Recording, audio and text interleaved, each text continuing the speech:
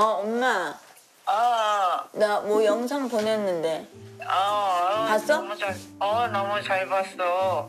영상 그 어때? 춤 춤 본 건 어땠어? 아, 나 춤. 춤은 진짜 엄마한테 제일 먼저 보내주고 싶었어가지고 요만큼을 시작했는데 무용이 그렇대잖아. 말로 표현 한계가 느껴지는 거를 몸으로 하는 게 그렇지. 무용이라고 말레라고. 오늘 그. 얘기를 뭐 바- 진짜 몸을 랭기지니까 이게 조금 더 보고 싶고 그렇더라. 완성을 해야지 이제. 음. 나그 엄마 오늘 가 가가지고 응. 토트 같아. 토시 토시즈 한 개 샀어 한 개.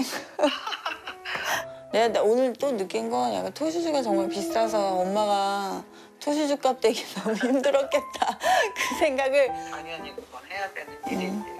빚, 빚, 빚을 졌다면서요. 토시즈 사달라. 그 값을 다 해줬어. 음. 그래서 내가 많이 즐겼어. 어머 엄마 하시는 그 말씀 봐요. 네가 그걸 그 값을 다 해줬대.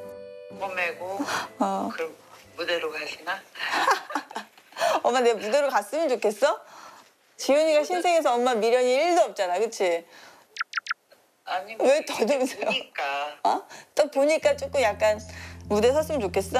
아, 그러니까 뭐 보이기 위해서 뭐 이런 게 아니라 본인들이 그렇게 하면 참 즐길 수 있고 그럴 것 같아서 한번 더 나이 들기 전에 갈라 같은 거를 한번 기획하는 것도 참 괜찮겠다. 너무 솔직하신 마음이다. 어.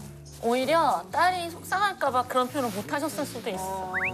그래서 나는 지훈이 때문에 괜찮다 하셨다가 어. 막상 시작하려고 하는 딸을 보고 응원을 하시는 거지. 격하게 지금 응원해 주시는 것 같은데요. 진짜 그럴 수 있겠다. 그러니까 본 다 기획도 해주는 것도 참 신기하고 음, 그러니까. 알았어. 그래 아유, 나중에 한번 완성하게 되면 또 보여주던지. 어, 어, 또 보내. 알았어. 그래. 또 쉬어, 엄마. 어. 음. 엄마도 반가웠나 보네. 제일 반갑지 뭐 말은 그렇게 해도.